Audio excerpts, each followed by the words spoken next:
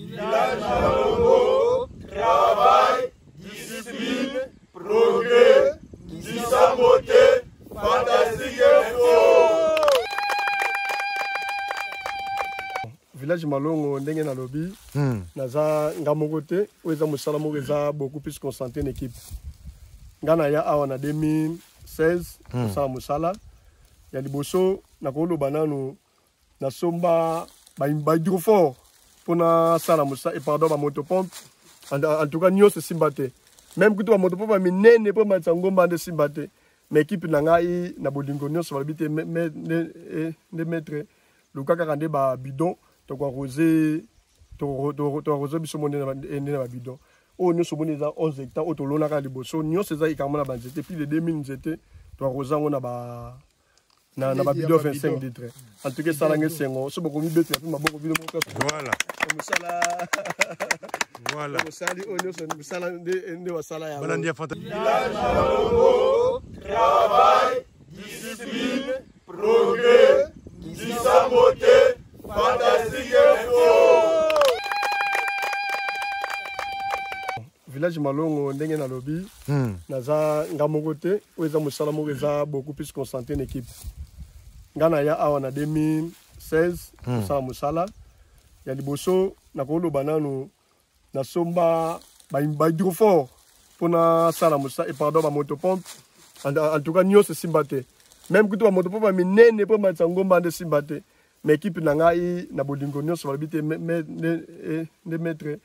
luka kaka nde ba bidon toko arrose to arrose biso mo nde na ba bidon oyo nyonso omoni eza 11 hectare oyo tolonaka liboso nyonso eza ekangama na banzete pile 2000 nzete to arrose yango na ba na na babido 25 litre en tout cas esalanga esengo so bokomibetela mpe maboko bino moko voilà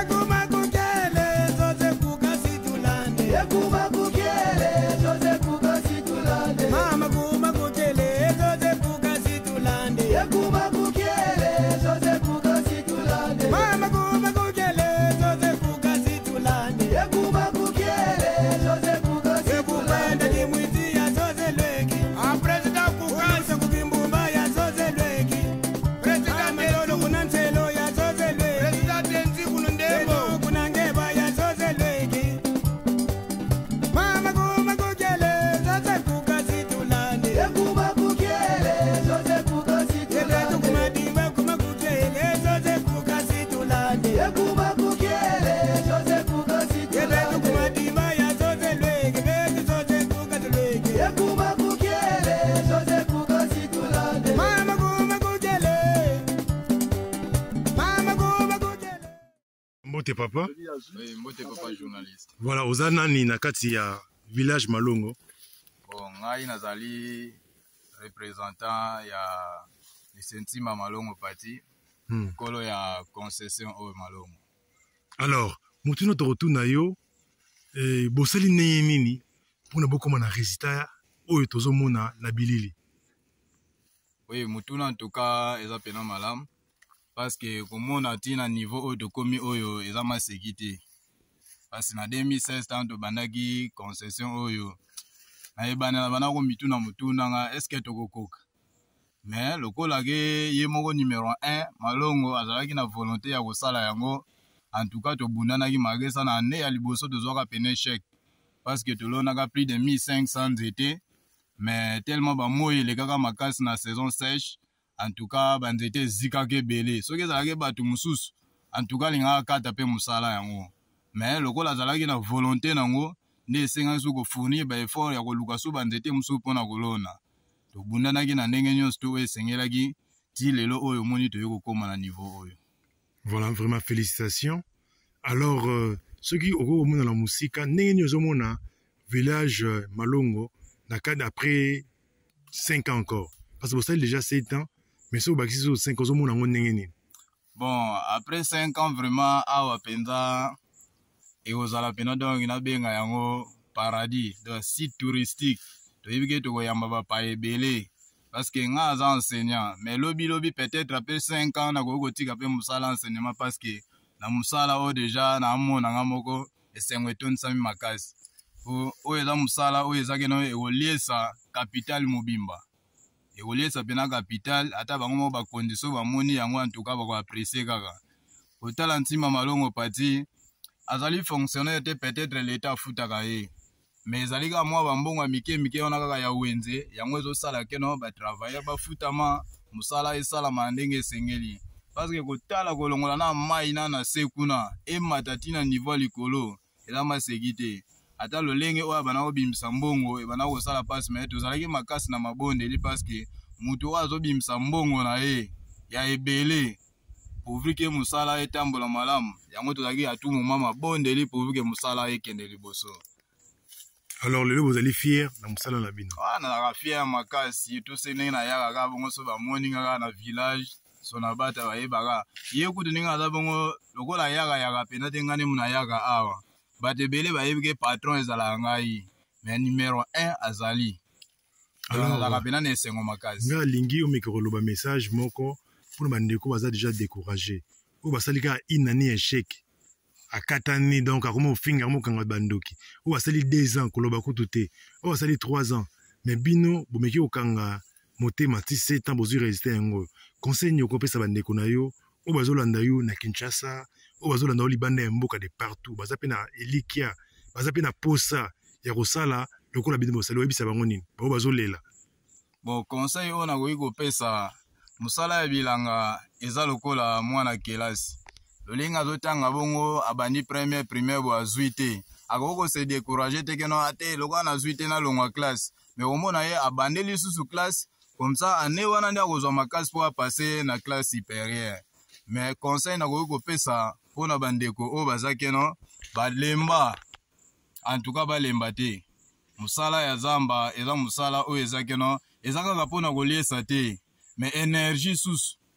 yango nde ezosala pourvu ke to vivre donc bato oyo bazalaki bakatana en tout cas bafournir baeffort pourvu ke bazongela misala na pour mboka na biso yango ekosala etombwama mpo na agriculture merci beaucoup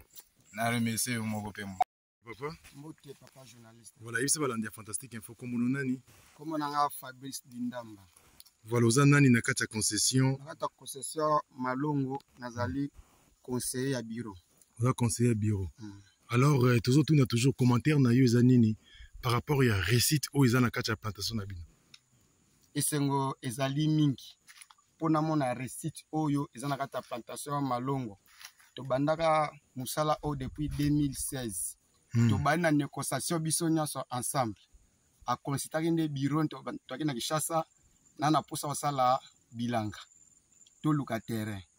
toye première année nde moninga na ngai alobaki mese yanik tozwaka première année échec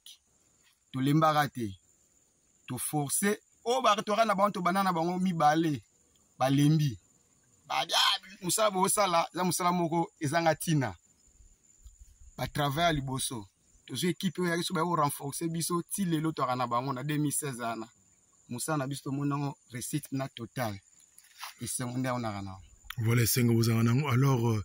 nazotuna mpe kaka baquestion na tuni bandeko ozomona concession oyo mosala na bino bosali ensemble dans 5 ans ozomona yango ndenge nini dans 5 ans déjà ngai naatala su 5 ans te da na mode awa prosperité deja ebandaki na mwa moke oyo deja ezopesa biso tondo ya liboso ata pondo apamba tondo oyo ezala nango te lelo oya boya jipe na biso eketona biloko ya kolia tokosa oyo toosala tomodaa bénéfice yango na année oyo 2023 epesi biso mwa courage courage mpenza ebandi na nzoto ke tokitisa mbongo toya tomona bénéfice ezalaka toujours ebanda ti tokóma 2024 tokomona ya bien ti après 5 ans ezalaka toujours babediction ezalaka toujours liloba nini okoloba na bandeko baza déjà abati oyo aza mpe na mposa basala lokola bino meme eh, baose retrouve te conseil na bapesa bandeko toza na bango awa bie toza na bango awa te baa na baconcession mosusu mosala ya mabele ezali mpasi ma eza mpasi te eza likambo ya volonté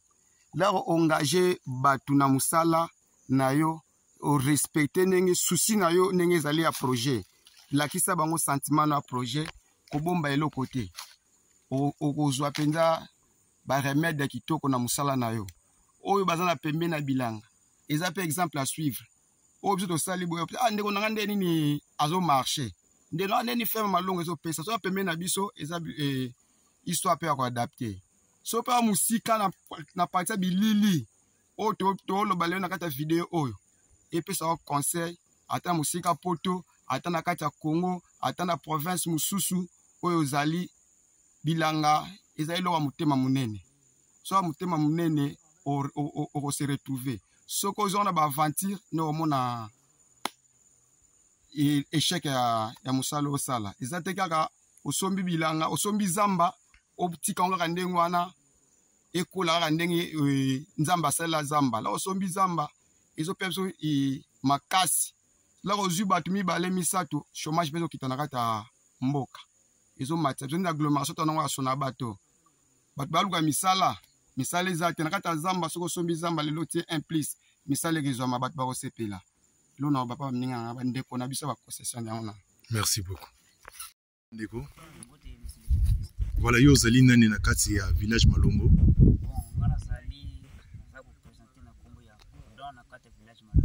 bengi yo na nkombo nani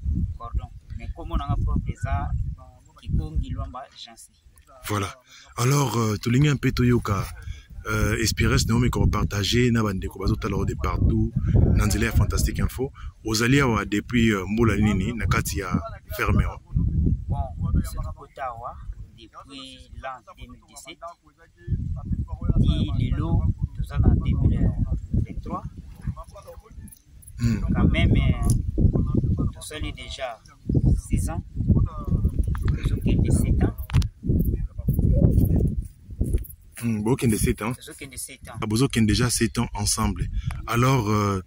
euh, meka mpe kopartage eloko nini emotiva yo ozala ti lelo na kati ya village malonga bon eloko nakoki koloba soit nakoki kokabola epai bamininga eza nde ya liboso nano volonté ememaki biso awa en plus na ndenge tomekaka kotravaille mpona koloba te ke na ndenge na travaillaka baoyo mpe baleki ngai bazali me na ndenge tomekaka yango nde esenga tofanda awa na kati ya village malonga yo oza natif ya mboka oyo to outi mboka mosusu non nga mpena naza natif na kati ya mboka oyo alors biso toyokaka yango de partout ke c'est vraiment difficile et euh, biso peut-être kutu tointerdiraka bato mosusu bazwa euh, baoriginaire ba, ba ya mboka parce que banatif parce que mingi basalaka baaventure mais comment se fait-il yo oza natif vraiment ya kati ya mboka oyo tozali solo na bata mpe ti lelo oza kosala misala ya malamu mpe ozwi promotion ya kozala coordonnateur na kati ya village oyo ezali ndenge nini emeka mpe kopartage bon soki nakoki kose partage peut-être ekozala swati kaka grâce nano ya nzambe nde moto esalaki lelo oyo nazala na kati ya village malongo bon à part ça na misala ndenge balobaka peut-être ekozala don na mutu na mutu mpo kame ndenge tobotamaka eza mutu na mutu na mosala na ye oyo alingaka bon tele moko force mosala moko boye bon osantane nango te esalaka mpe bien te ndeti biso awa soki tozotendere na banei wana tokoki koloba 6 ans tokokende ba 7 ans mpo mosala oyo ekoma nde ete nakoloba tokende mbangu eza nete efana na makila okobana na bakoko na biso tobande mosala oyo ki bazoyebisa biso tokoli nango quand même tomekaki kotanga mais bon wana eza longue histoire tokomaki te place yango tokoma mais lelo oyo grâce ya liboso nanu merci tozongisaka pa monsieur Timba Malongo Pati ye nde aza numero 1 ya awa na soutien nanu oyo asalaka pa na biso soit na mosala na ye na volonté oyo azalaka mpo na mosala na ye yo oza na niongo ya kombe bafuti yo nao te non naza na niongo te kuna kutu tolekaka deja librement niongo eza te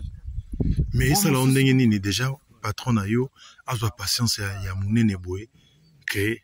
c'est vrai tolie manioko awa euti na ferme mais abandaki lemso première année ti na lemso na troisième année ando gagné eloko te elobelako nini eloko wana déjà bon mpa na nga ekoki kolobela nga nini o soit esalaka nga mpasi mais eza mpasi te mpo na mutu eloko oyo alingi de ce que azalaka nango temps en temps quand même azwi échec ndenge tokotaki koloba soki ye moko ndenge akotaki koloba quand même azwa échec mais ayebi ndenge nini akosala mpo échec wana azwa yango susu te yango nde biso tosalaka na kati wana toza koforce na équipe en plus ke epesa biso mwa avantage moko boye yango nde avantage toza nango ok merci beaucoup Passa. papa ye biso balanda fantastique info nkombo na yo nani mpe ozali nani na kati ya village malonga nkombo na ngai eza die merci hmm. oyo babengana ngai na village malongo bolingi bolingi eh, aza travailleur à village malongo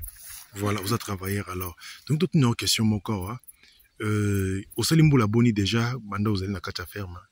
nga nakoza na 2017 na 2017 oza ti lelo ti lelo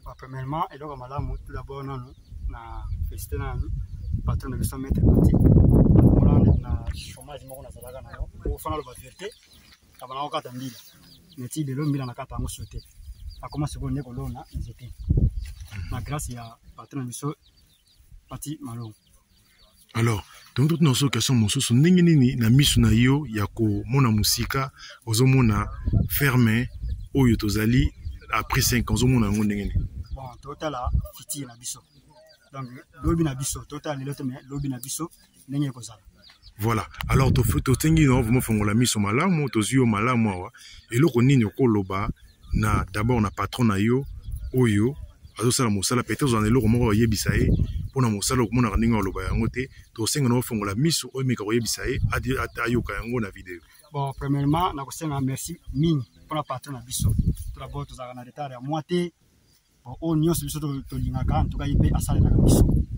soki bazalaki ata deux personnes ou trois personnes peut-être na mboka na biso sona bato mpe toza développement makasi voilà merci beaucoup mbote ndeko mbote monsieur le journaliste yesu balanda fantastique info kombo no nani kombo na ngai monsieur kabosi kabosi osali mbula boni na kati ya ferme malongo